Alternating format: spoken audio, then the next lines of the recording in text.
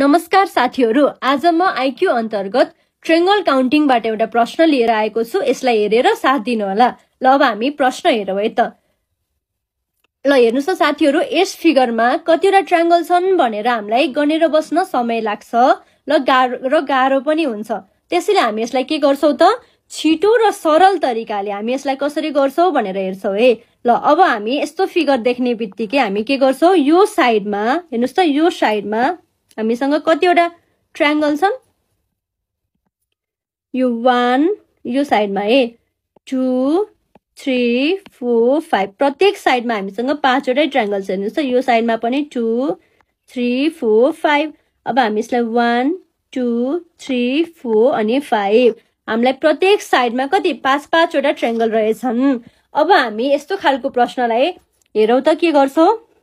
यो वानदेखि पाँचसम्मका नम्बरहरूलाई लेख्छौँ। हेर्नुहोस् त थ्री फोर अनि फाइभ अब यो वानलाई चाहिँ हामी वान नै लेख्छौँ र दोस्रो नम्बरलाई चाहिँ हामी यो अगाडि आएको नम्बर हेर्नुहोस् त वानलाई जोड्छौँ। प्लस वान गरौँ कति हुन्छ?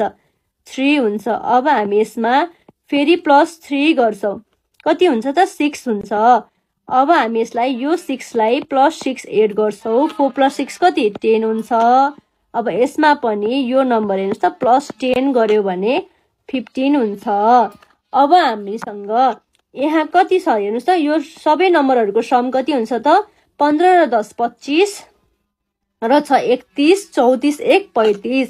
कति रहेछ? पैँतिस रहेछ। अब हामी यसलाई के गर्छौँ? पहिलो नम्बरलाई हेर्नुहोस् त अल्टरनेटिभली जान्छौँ है। पहिलो नम्बरलाई क्रस गर्छौँ दोस्रो नम्बर लिन्छौँ फेरि तेस्रो नम्बर क्रस गर्छौँ चौथो नम्बर लिन्छौँ र अर्को नम्बर हामी क्रस गर्छौँ हेर्नुहोस् त।